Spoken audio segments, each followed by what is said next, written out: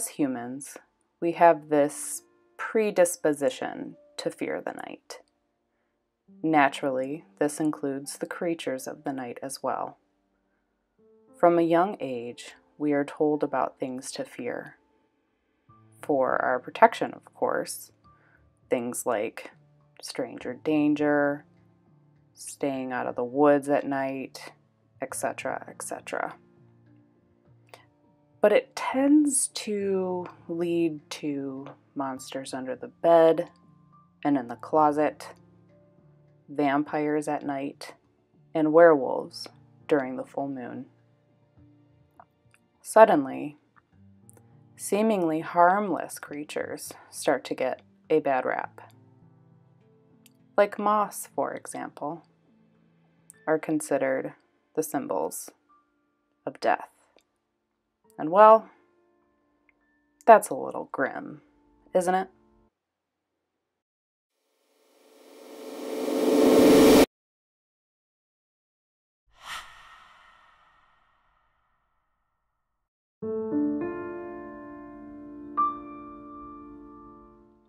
Insects have been around, well, for as long as we can remember.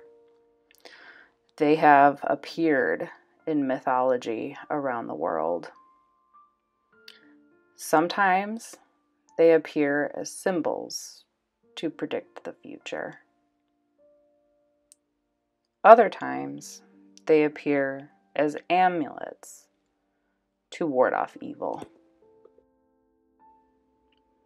Sometimes they invoke an image of destruction. Like moss, for example. When we think of moss, we think of mothballs, holes in our sweaters, and them just devouring our pantry. Now, moths have different symbolic meanings to different cultures. And sometimes different colors of moss can mean certain things. Different kinds of moss can symbolize different things to different cultures. In native South American mythology, when a white moth is found, it may not be mistreated, for it is also the spirit of a visiting ancestor. It has to be removed carefully or the spirit may return to seek revenge. The Luna moth symbolizes spiritual growth and transformation, while if you see a black moth, it's said to be the harbinger of death. Have you stumbled across a brown moth? You should be more cautious of the people you trust and let in your life. Which brings me to the death's head hawk moth. Even if you've never seen this moth in person, you know this moth. It's the famous moth that is mentioned in The Silence of the Lambs. Even if you've only seen the movie poster, you know this moth. You know what I'm talking about that famous brown and yellow moth with the skull shaped pattern on its thorax. Turns out these guys are real and quite interesting.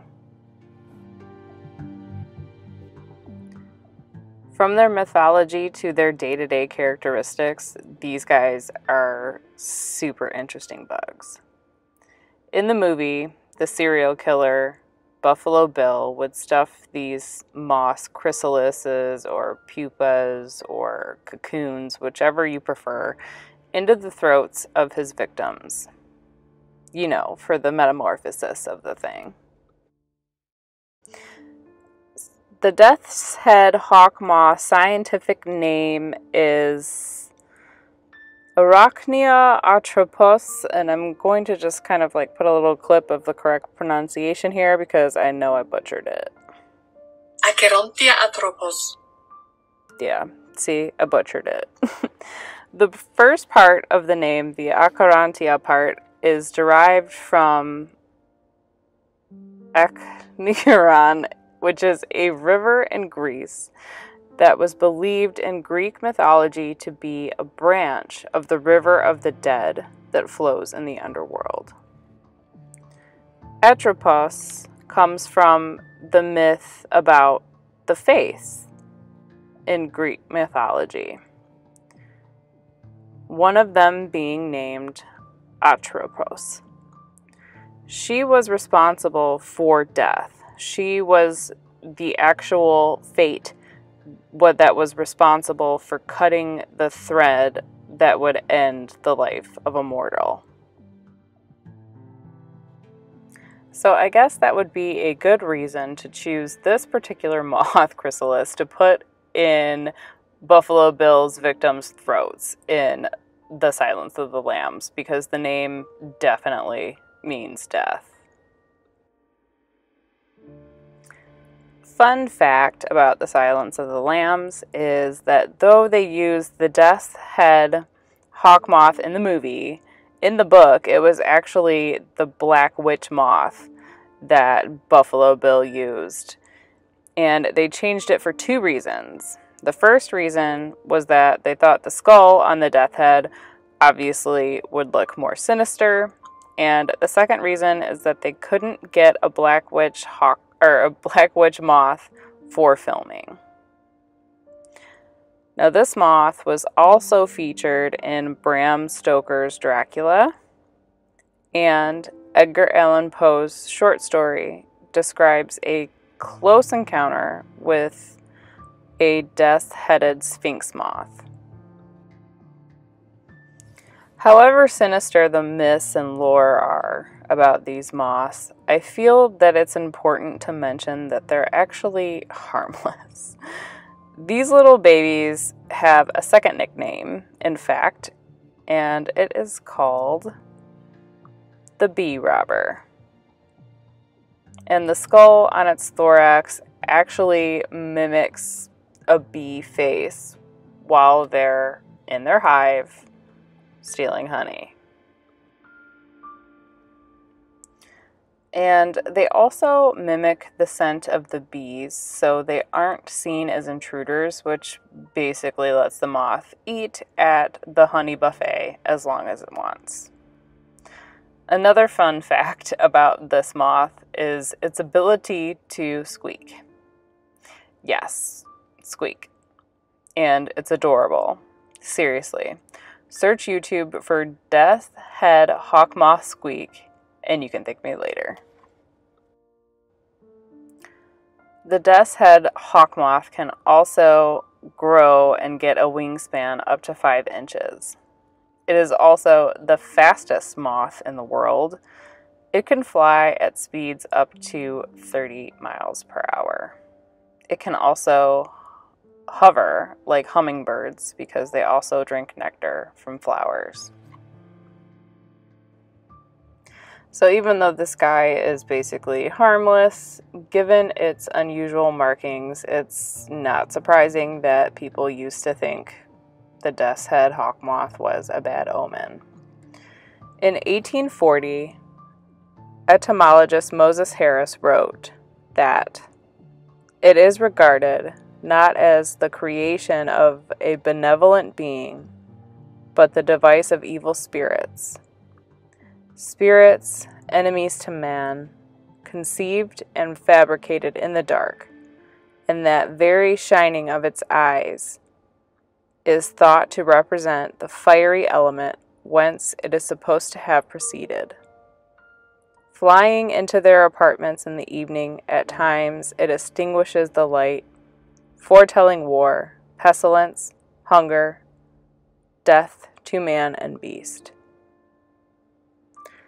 I don't know if I would go that far per se, but I think I would probably be a little creeped out if I did see one of these guys in person. Make sure you let me know what you think of the Death's Head Hawk Moth in the comment section. I did want to take the last few minutes of this video to kind of explain to you guys what I want to do with the series. Um, basically, I want to practice my storytelling elements and visually and writing the written word. And a good way I thought to do that would be to kind of combine the Inktober elements that we had in 2018 with some more storytelling elements, and the only constraint being the actual story. So, meaning I can choose whatever medium I want, I can work whatever in whatever style I want, I can use different colors if I want. Um, so, the only constraint would be the story. And I do feel like I have to apologize because I feel like this video didn't go according to my plan. And even though you guys don't know that per se, it's just, it's been a disaster. I actually had to restart this piece, and that's why this video is out in July instead of June. And I am currently sitting in my car doing this voiceover. So it's been a very frustrating experience just trying to get this together the way that I wanted it with fireworks going off and the kids being loud in the house and just finding time to actually finish it. Um, but I will say that I'm way happier now that I started the piece over and I am happy with the artwork. I'm really, really happy with the artwork. I don't typically like to use white in my art, like using the white of the paper and I really did like the outcome of it. Um, so I have more that I want to add to this um, storytelling element. I'm working on a, new backdrop and um, things like that that you'll see down the road. And this little series will be kind of like my experimentation, and I just really want to see what I can do with it.